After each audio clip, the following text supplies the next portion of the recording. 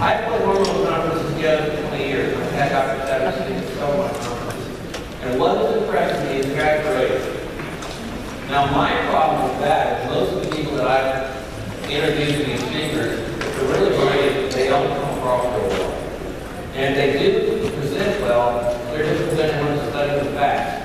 This guy's different. He's going to give you, as we had this in election Dr. National Agreement, he's going to give you stuff that works in practice in an easily understandable way. But if you want to drill really smart stuff afterwards and questions, the way one of those too. So he does a great job presenting, Dr. Zach.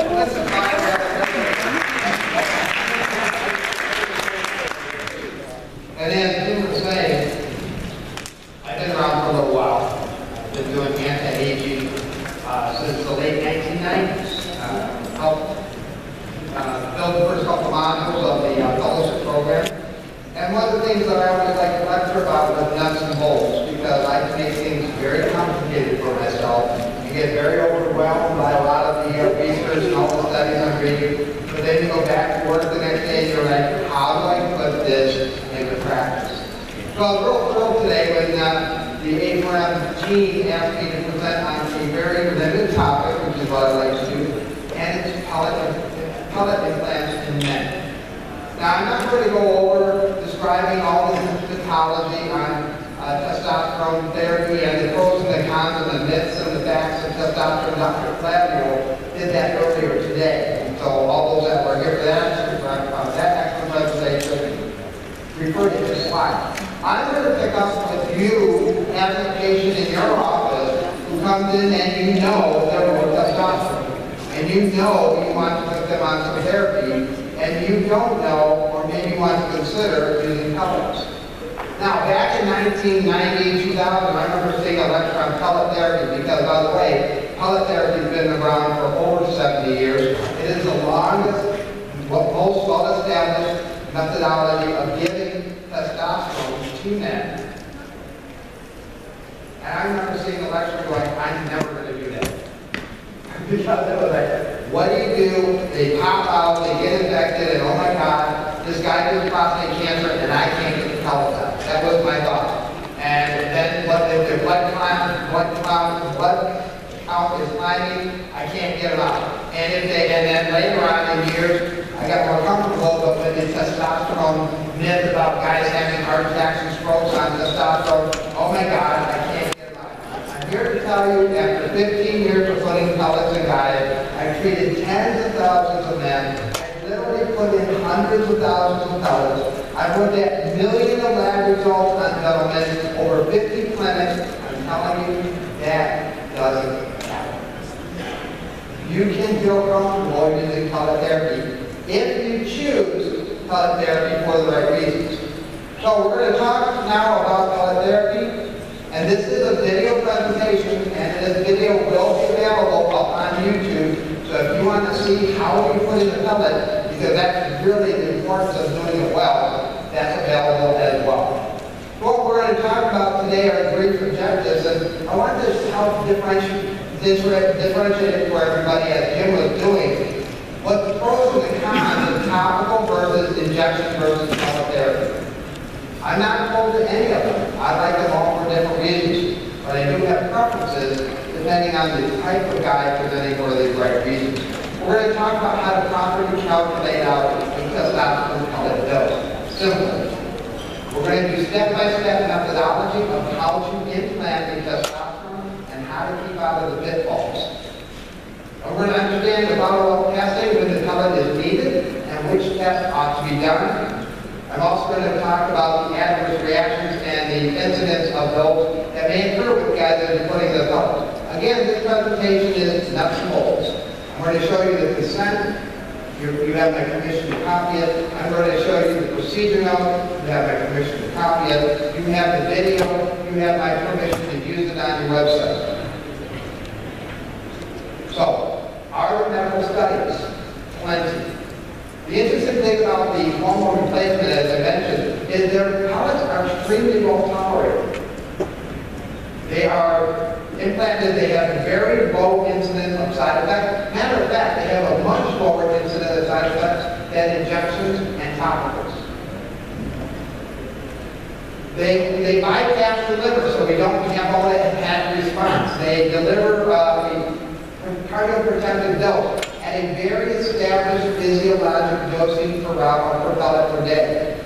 The pellets do not prevent bone loss, but I treat osteoporosis and osteopenia in my office. My first drug of choice, if indicated for men or women, is testosterone pellets. Within a year, you will see them stabilize, if not reversing, and this is, I immediately take them off their Boniva, their Fosamax, and I put in if they qualify for the pellet therapy.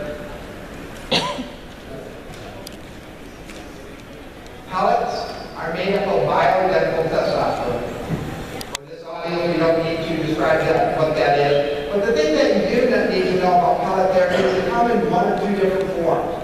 They come as a fused pellet, or they come as a pressed pellet. We're going to talk about the differentiation between two types.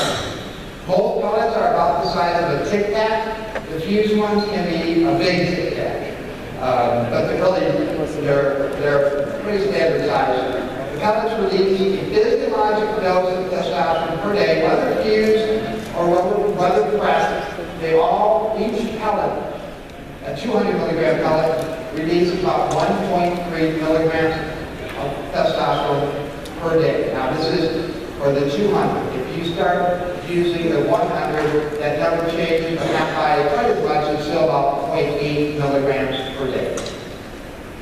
You can see the top pellets come as, they come delivered in a lot of different routes, whether you're getting the Testopel, which is the FDA approved for that, or whether you're getting compounded testosterone from the pharmacy. And I'm not going to talk about the legal implications of either. I use both. I'm going to tell you how I make my decision on which ones that I use. So there's the testosterone, which is the FDA approved pharmaceutical grade testosterone that you buy at 75 milligrams per pellet. Then there's the Organon, which is 200, and there's also a number of compounding pharmacies out there in the exhibition hall that actually manufacture compounded pellet therapy. Pressed versus. Pressed is where they take the testosterone and squeeze it down hard enough into a nice pack. Fuse is where they press it down so hard it actually fuses as a crystalline form. The difference is the pressed are smaller, the fused are larger slightly, but the fused also have a lot more indentations because of the crystallization process.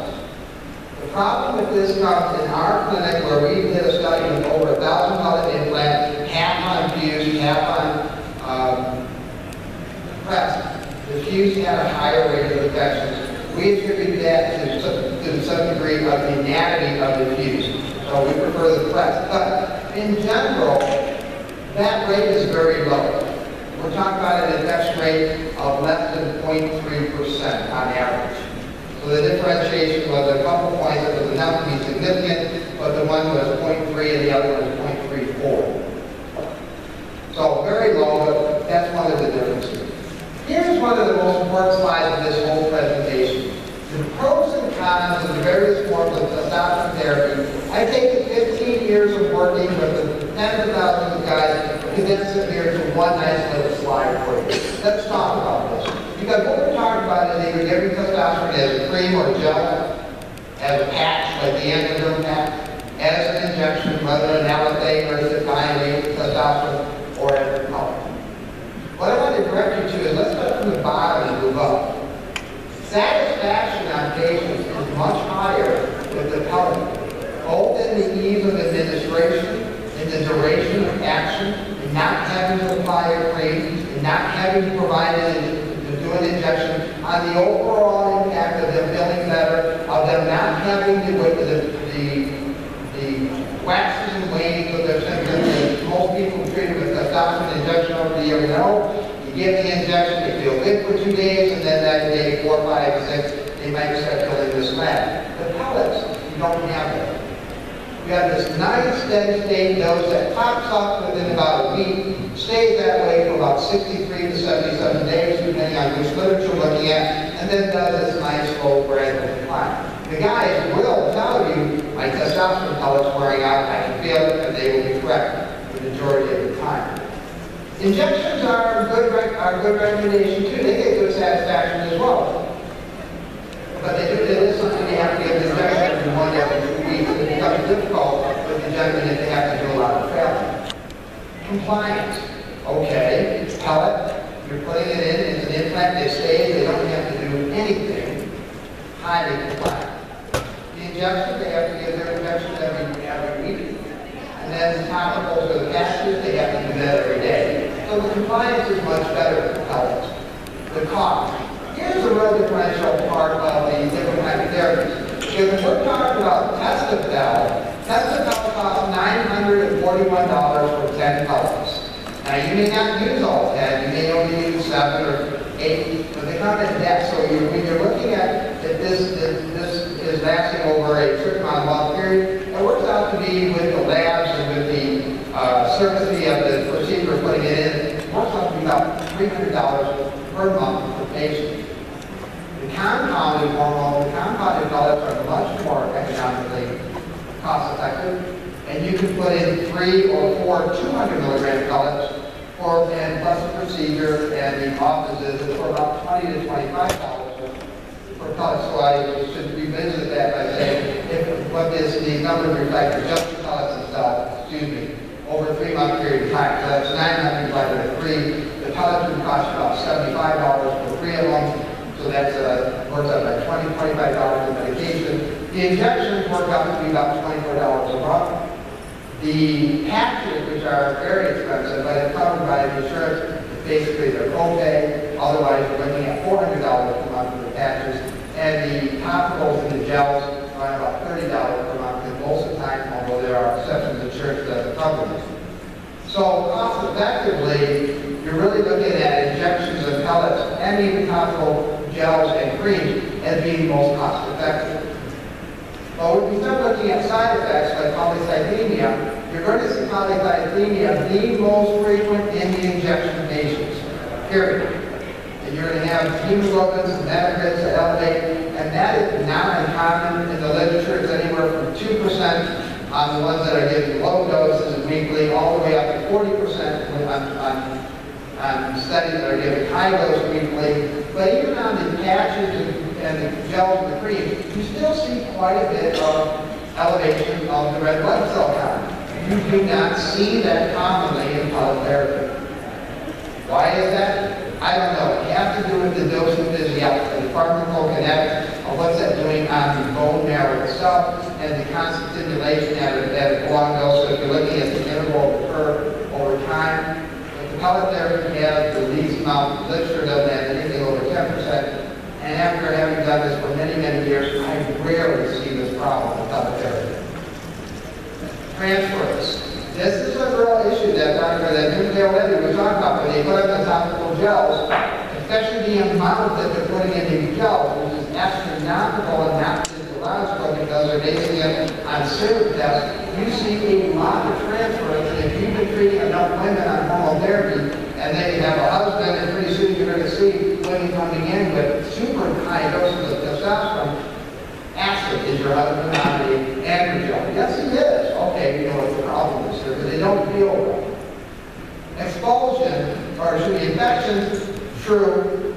This is unique with pellets, but if you do it well, and I'm going to show you how to do it, your rate of infection will be less than 0.3%. That's what ours is in the offices. Expulsion. This is the one where the pellet pops out. You're going to see this not uncommon. This is the number one side effect that you want to let patients know. And the difference between infection and expulsion is infections usually occur three to five days after putting it in, and expulsions or extrusions happen about three to four weeks after putting it in. But they still a lump, they still feel tender, they still feel little warm and red, and then all of a sudden they're rubbing their pimple on their butt and it pops, it drains, out from the serosanguineous discharge, the pellet pops out, and maybe all that, and they're real freaked out, rightfully so. But in general, these patients don't need antibiotics. They just need to let it drain, and then it heals by itself. We only start antibiotics on our patients, on the patients that have had a couple put in within three to five days, with then a lot of heat and pain, and then we're using something like that, and then we go through our clinic. Skin irritation, you're going to see this very commonly in the patches and the cream. College, they'll always say they felt like somebody kicked them in the butt couple days after college. It's always that little bit scolded. So this is a very important take-home message of this whole lecture.